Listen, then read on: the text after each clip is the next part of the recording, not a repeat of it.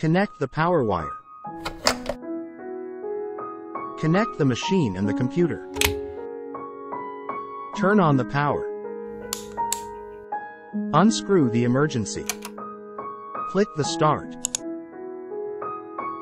Turn up or down the head of the machine to adjust the focus distance.